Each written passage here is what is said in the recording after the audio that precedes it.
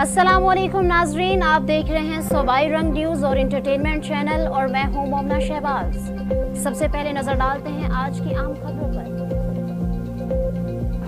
एक अहम खबर शामिल करते हैं रावलपिंडी से। आरडीए ने यूनिवर्सिटी टाउन के साइड ऑफ़िस, केआरएल रोड पर केआरएल अस्पताल और सैदपुर हाउसिंग स्कीम में जेर तामीर इमारत को सरबमहर कर दिया। आरटीए की गैर कानूनी तमीरत के खिलाफ बिला तफरीक कार्रवाइयाँ जारी। आपको एक अहम खबर से आगाह करते चले। रावलपिंडी से आरडीए ने यूनिवर्सिटी टाउन के साइट ऑफ़िस केआरएल रोड पर केआरएल अस्पताल और सैदपुर हाउसिंग स्कीम में जेर तमीर इमारत को सरबमहर कर दिया। आरडीए की गैर कानूनी तमीरत के खिलाफ बिला तफरी कार्रवाइयाँ जारी हैं।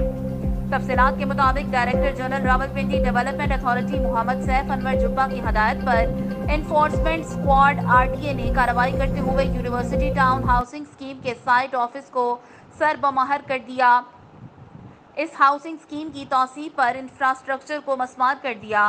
गैर कानूनी और गैर मजाज तमीरत के खिलाफ कार्रवाई करते हुए जहाज़ ग्राउंड के बिलमुकाबिल के आर एल रोड पर के आर एल हस्पताल को सील कर दिया गया। और सैदपुर हाउसिंग स्कीम रावलपिंडी में प्लॉट नंबर ए 220 पर गैर कानूनी जेर तामीर इमारत को भी सील कर दिया है। ये कार्रवाइयाँ मंजूर शुदा लेआउट प्लान की खिलाफ वर्जी और गैर कानूनी तरक्की की वजह से की गई।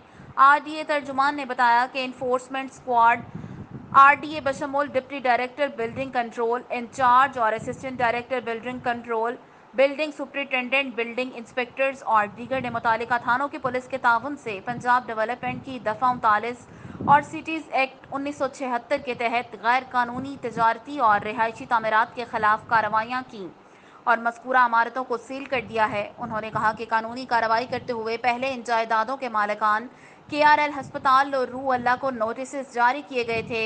उन्होंने कहा कि मस्कूरा से, सेल शुदा जायदादों के मालिकान ने मंजूर शुदा प्लान्स और नक्शे की खिलाफ वर्जी की है।